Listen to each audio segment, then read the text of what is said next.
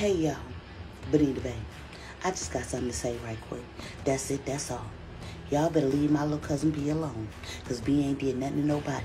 B just trying to get on here and make the people laugh and stuff. But guess what? I'm coming to Florida and anybody that got a problem with B is gonna have to see Benita Bay. So y'all better stop before we make y'all our family pets. Cause you know, we take them and we break them. Hey everybody, it's Benita Bay.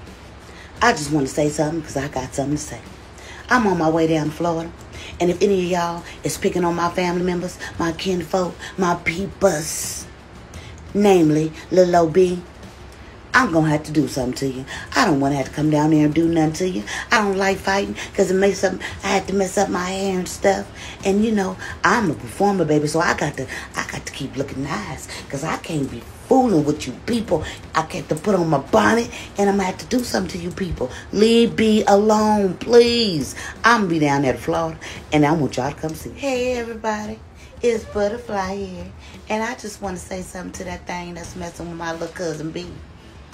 I just want to tell you, you're puffy all over your body. Your eyelids puffy, your chin puffy, your nose puffy, your neck puffy. All them little creases up under your neck is puffy. Your earlobes is puffy. Your whole body puffy, puff, puff, puff, girl. Leave me alone, please, and thank you, Puffy. Somebody said they need me to handle that girl that's messing with B.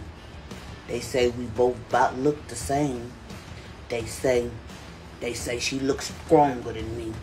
But I say, I say, I'ma take her down. Cause you don't mess with B. B don't mess with nobody. So ain't nobody messing with B.